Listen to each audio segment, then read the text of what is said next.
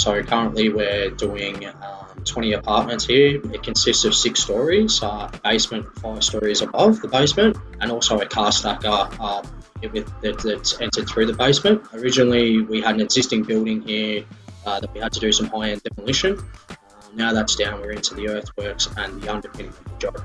Currently, we're on the uh, the stage of underpinning of the adjacent buildings uh, to our site. So, doing an additional uh, footing to an existing building or structure to ensure that that building or structure is strong and stable. Deemed that the adjacent buildings um, footings were inadequate for the excavation that was being taken place on our side of the job. And so additional um, underpinning was required underneath those footings to ensure we weren't undermining it uh, within the excavation um, process of our job. Originally, we get in contact with a temporary engineer who comes to site and has a look at the, the site. In this process, he provides a uh, methodology for us to, to tackle the, the underpinning. During this process, he, he, the methodology prescribed was a hit and miss process, and in that process, we do it in sections so that we're not taking out a complete section uh, and undermining that that section. So uh, it's a hit and miss. You do one meter, um, you know, leave two meters and do another meter.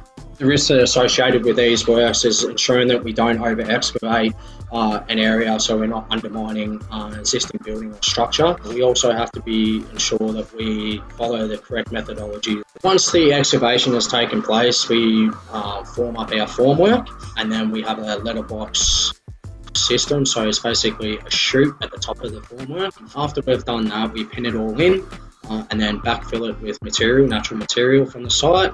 Uh, just so it holds it in and there's no blowouts when the mass concrete goes uh, within that um, underpinning section.